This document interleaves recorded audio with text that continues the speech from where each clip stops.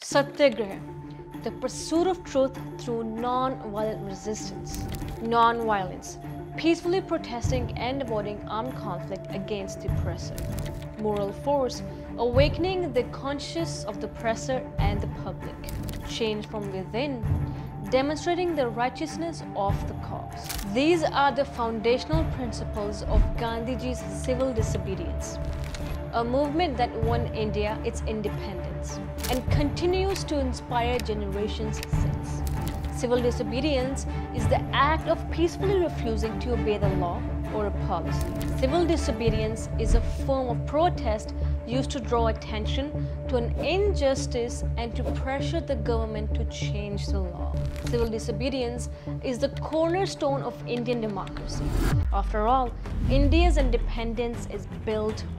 So why have the Indian farmers' protest been so polarizing? Is the world's largest growing economy so small that it can't accommodate its farmers? Is the noise from India's economic wins and successes so loud that it muffles the voices of the ones who feed the nation?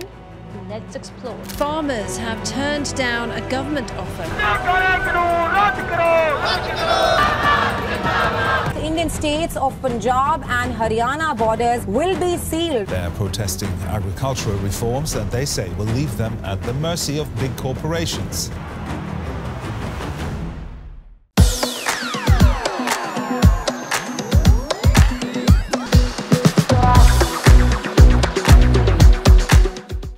In September of 2020, the Indian Parliament, with overwhelming support from Lok Sabha and Rajya Sabha, passed a series of laws aimed at reforming the agricultural sector. The proposed laws became known as the Farm Bills. The bills were aimed at deregulating the existing system of government run wholesale markets, allowing farmers to sell directly to food processors and private buyers. Simply put, the government wanted to remove itself as the middleman and turn agricultural commerce into a B2B operation. The result? The farmers would become businessmen. In theory, these bills would improve market efficiency and encourage private investment.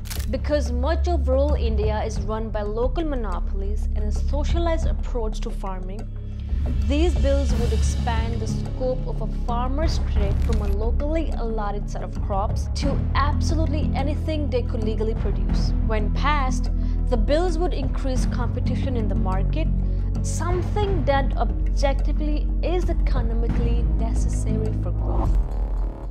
A farmer who may have been limited to only growing wheat so his neighbors could grow corn would suddenly be able to use his land for both.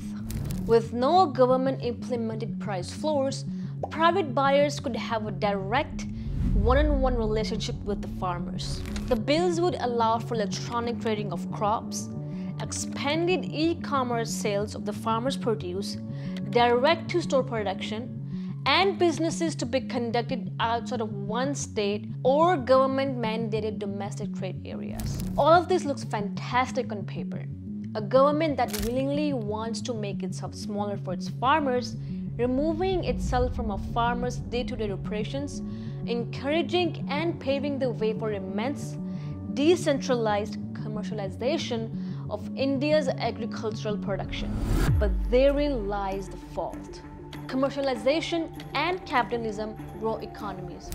Sure, they put countries on the world map 50% of India's 1.4 billion people rely on agriculture for a living. Yet it only amounts to 20% of India's GDP. And India, a country with the world's greatest amount of alluvial soil and an astounding 46%, deserves to be at the forefront of agricultural growth. Despite being plagued by issues of hunger, India is self-sufficient in being able to feed its 1.4 billion people and counting every single day. So how do farmers feel about these laws? It's complicated. The farm bills quickly became known as anti-farmer laws. It is a tale as old as the Industrial Revolution.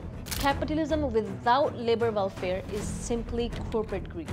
And the farmers quickly saw through the shiny promises of bigger production, larger prospects, and financial self-reliance because it simply seemed like a pipe dream to them. Why?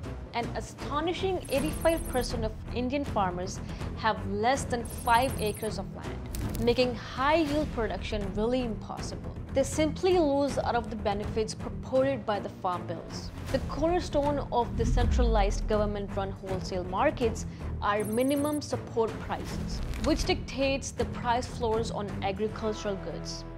MSPs ensure that farmers, regardless of how fruitful or disappointing the harvest season, will at least break even on the crops, if not walk away with a small profit. For many farmers, especially those who are limited to the local monopolies mentioned earlier, MSPs ensure they can keep their farms running, make a guaranteed amount of money on their crops, and have the resources to replant for the following season. In a nation faced with endemic issues like low farmer income and farmer suicides, welfare practices like MSPs are godsend.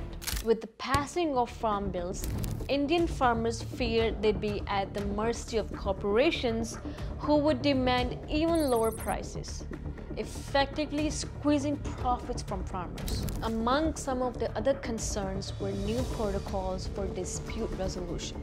Prior to passing of the farm bills, any financial disputes faced in the agricultural sector got their day in court. However, in an effort to reduce governmental involvement, the farm bills relegated disputes resolution to local authorities, which for farmers in rural areas of local monopoly meant dealing with corrupt local law enforcement. I would be remiss to not layer in the still prominent caste conflicts in the rural areas.